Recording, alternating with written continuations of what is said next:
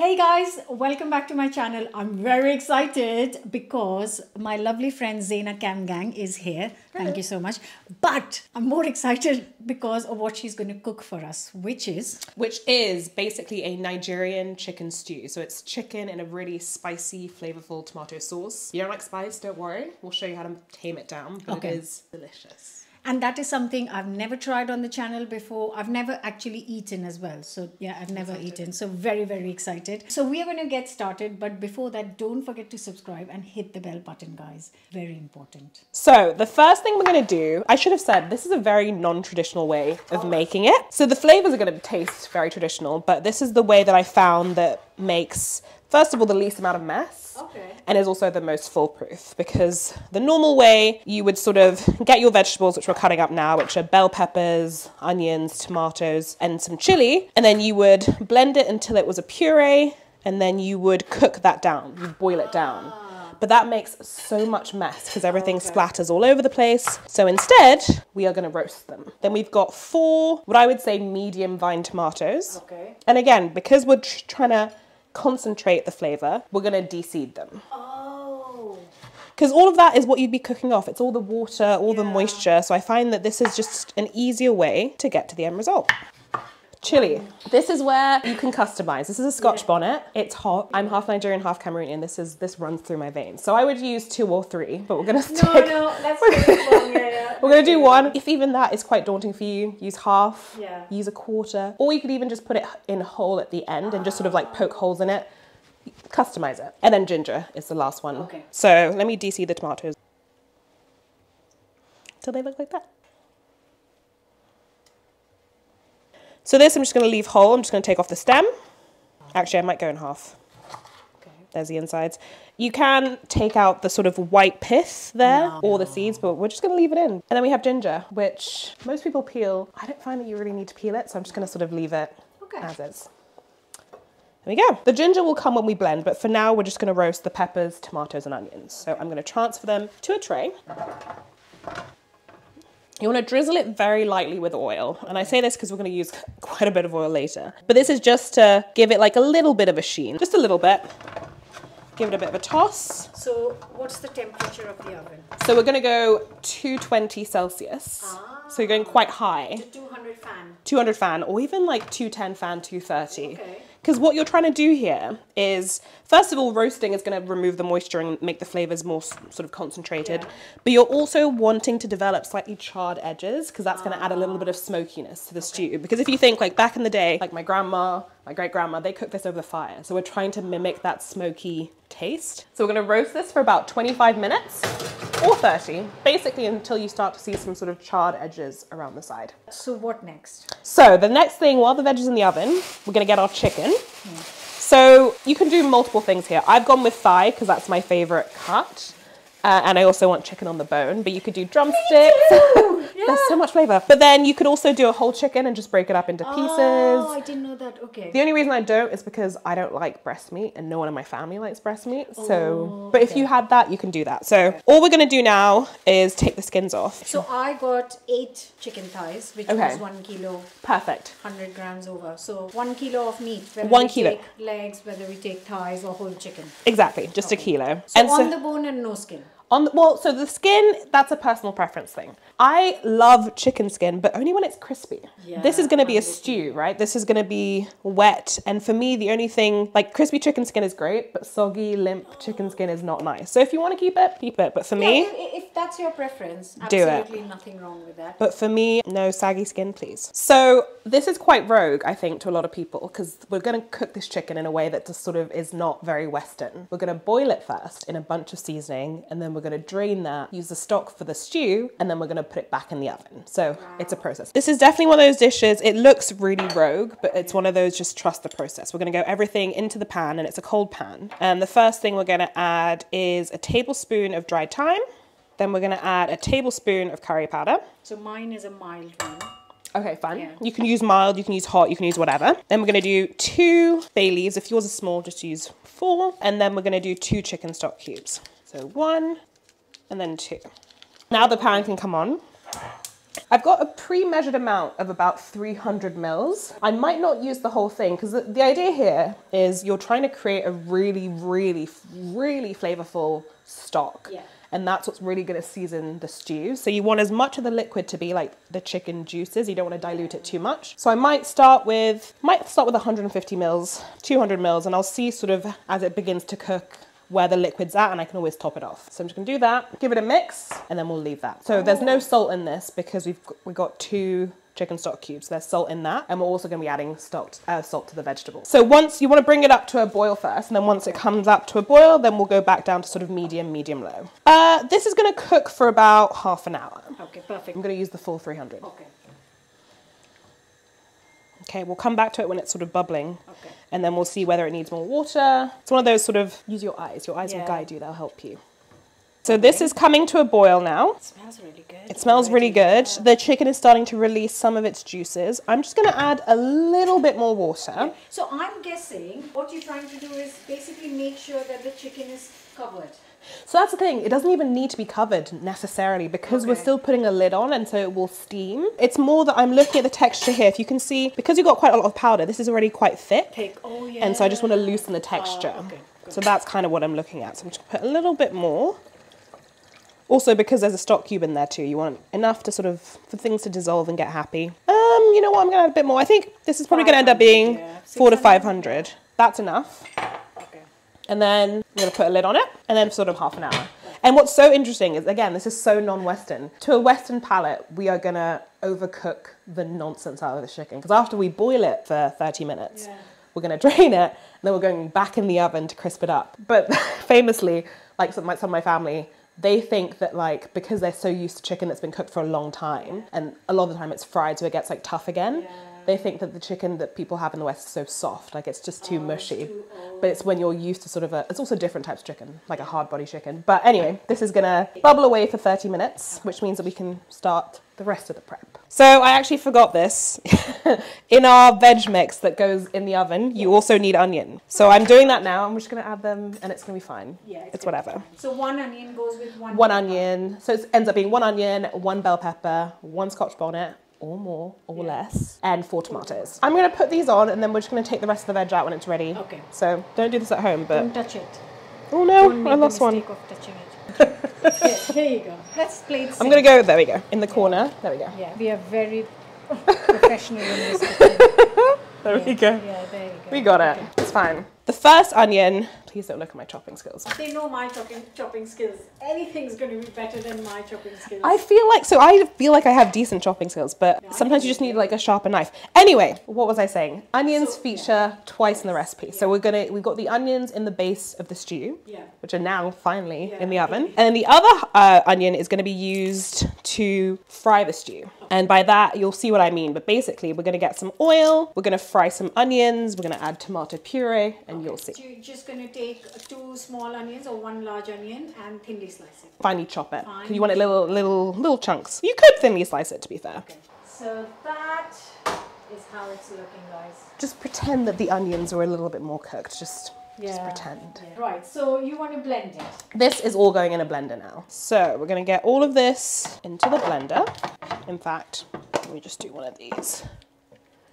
And hopefully not get So will you Spilled. add any water to this or just? just as is. Because remember, the whole point of this is you're trying to get rid of the water. So it would defeat the point of us cooking this out to then have to then cook it out again. So there's enough natural moisture in all of this that it will blend well. The ginger we had earlier, don't have to peel it. If there's any sort of like knobby bits, you can just sort of trim those off. That goes straight in, Okay. as well as a teaspoon of salt. And then we blend.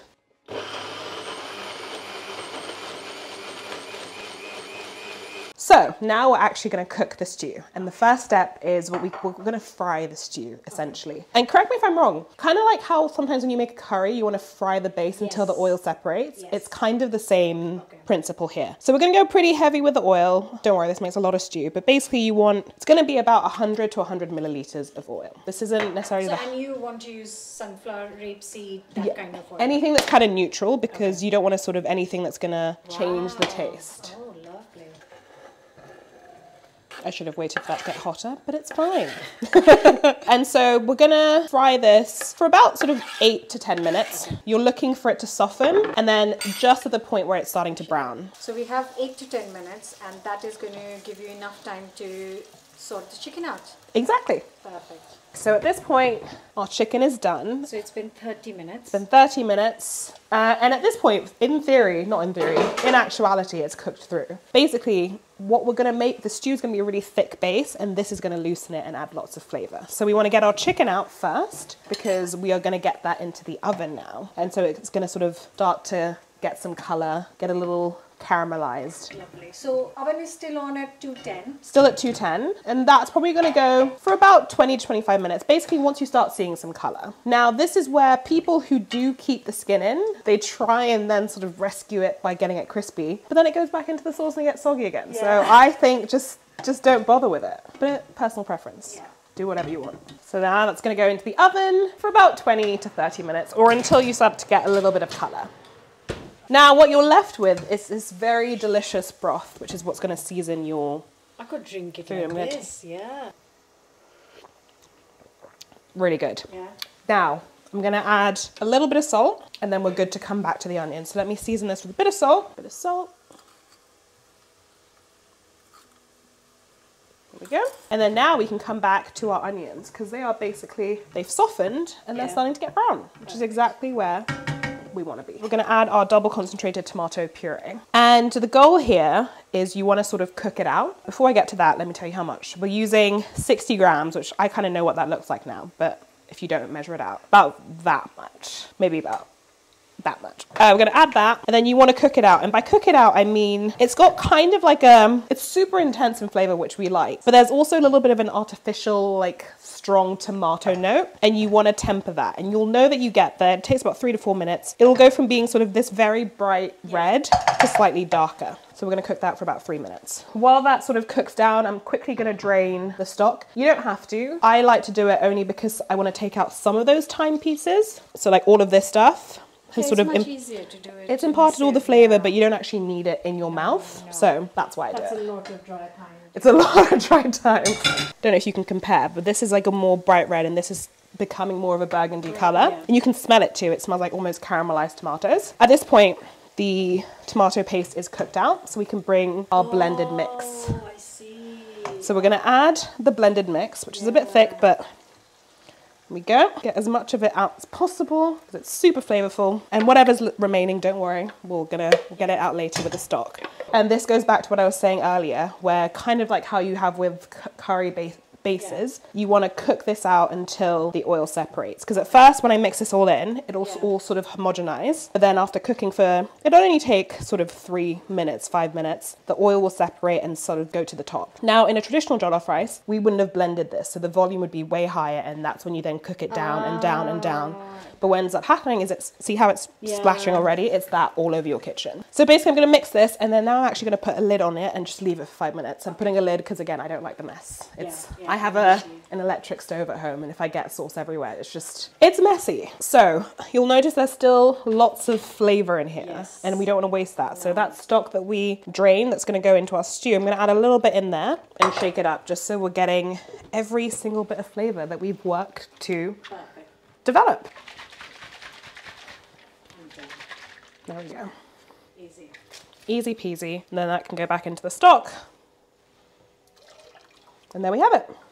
There we go. See how you have these little pools of oil above the sauce? That means that you've cooked it out really well. So I'm just to give that a stir. You can see it's really nice and thick. Like this is borderline a paste. And so this is where our stock comes in. And that's what's going to loosen it up into what we in Nigeria would call a stew, but most people would probably call a sauce. I'm not going to dump it all in at once. I'm going to sort of control the texture. So I'm going to uh, start with about half and see how that gets us.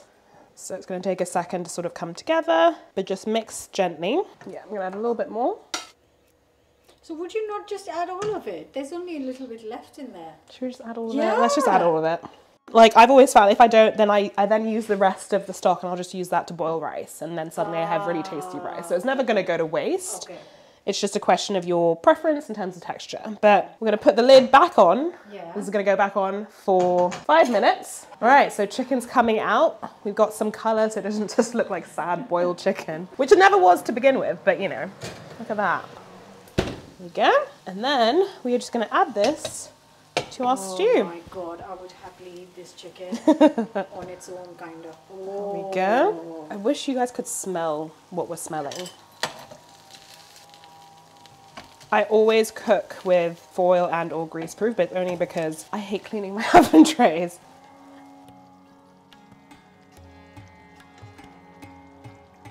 And there we go. We're gonna stir this into the sauce. Give it maybe, I don't know, five minutes to sort of get acquainted. Okay, And then you're pretty much done. that smells and looks insane. There we go. So here we go. It, the chicken has had a chance to sort of meld into the sauce. You can see it's almost falling apart. It's super, is super tender. And then we're ready to serve.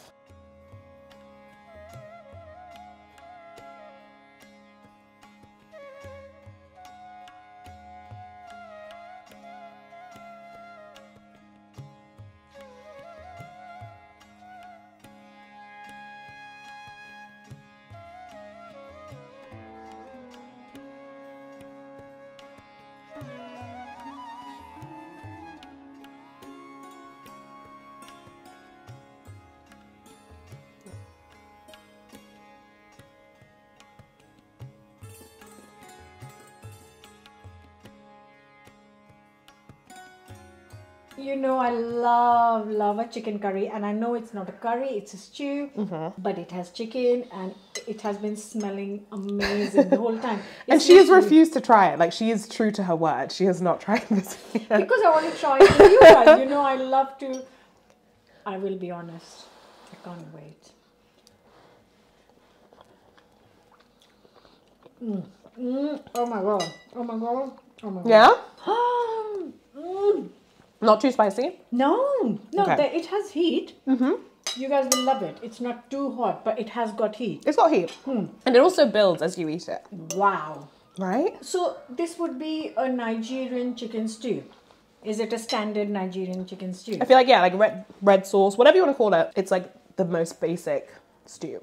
Wow. That And you can make it not with chicken, you can have it with beef, um, turkey. We use a lot of turkey. Is it knuckle? I don't even know what it is, but turkey. You can do oxtail, add spinach. There's so much you could do. I've done it with um, oyster mushrooms before for someone who is vegan. Wow, I am going to be making this a lot because that is incredible. Like you said, you can use just the sauce with everything actually. Mm-hmm. Uh, even you could add like a spinach to this Yeah, exactly. And a chin, tin of chickpeas or something. Yeah. Not that you need more protein. This No, is- but you could. For me, this is perfect. Right, but if you wanted to, you could. You could, yeah. could add lots of things. Wow. So um, we've made. Oh God. When did that happen? God knows. I think it, it it's saying to me that we need to wrap up and. It's time to eat. Say goodbye. Thank you so much for joining me. Thank you for having me. You can find Zena's profile on Instagram. I'll leave the link in the description. Go follow her recipes, check you. her workout, and don't forget to subscribe. I'll see you soon with another new recipe. Bye.